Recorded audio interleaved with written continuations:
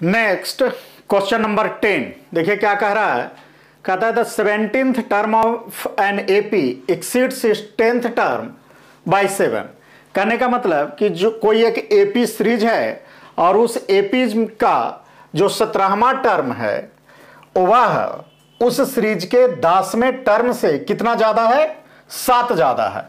तो उस सीरीज़ में फाइंड द कॉमन डिफरेंस उस सीरीज़ का कॉमन डिफरेंस क्या है?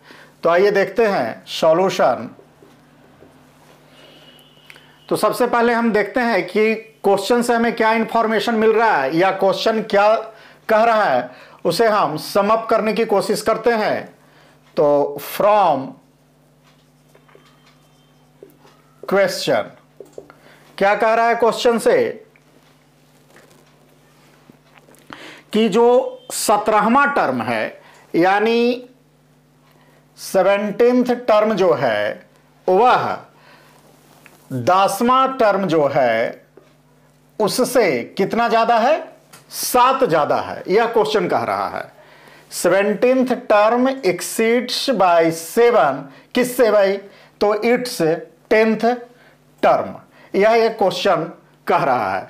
यानी क्वेश्चन का यही जो है स्टेटमेंट है। तो इसके लिए आइए देखते हैं। बी हैव दैट जो जनरल फार्मूला है, क्या ए एन के लिए?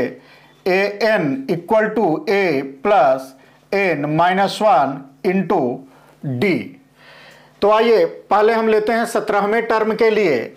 तो ए सेवनटीन के लिए अगर हम लेते हैं तो क्या आता है? ए सेवनटीन इक्वल टू क्या आएगा?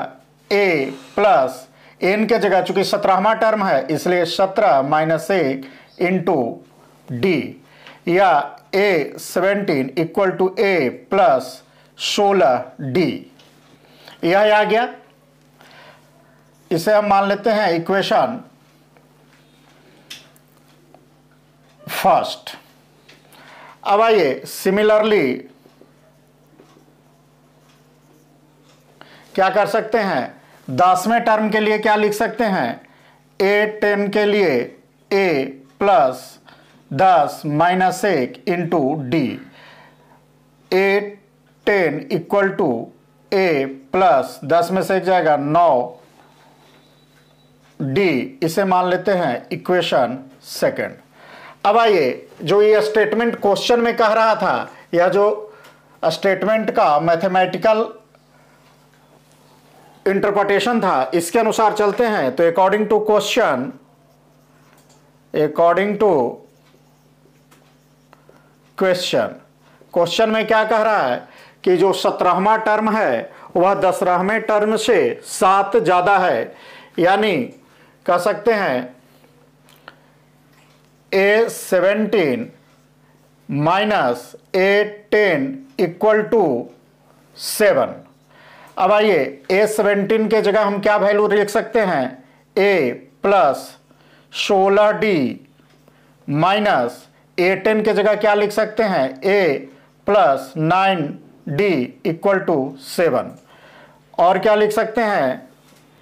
ए प्लस सोलह डी ब्रैकेट रिमूव करेंगे तो minus A minus nine D equal to seven अब माइनस ए और प्लस ए कैंसिल हो जाएगा तो क्या बचेगा हमारा? 16 डी में से 9 डी चला गया तो कितना बच गया? नौ सात सोलह seven D equal to seven इसलिए D equal to seven upon seven यानी सेवन से सेवन एक बार में कट जाएगा, यानी वन और हमें पता क्या करना था? कॉमन डिफरेंस पता करना था। क्या पता करना था? Common difference. और डी का वैल्यू हमें कितना आया? ओवन। यानी इसका कॉमन डिफरेंस कितना है? वन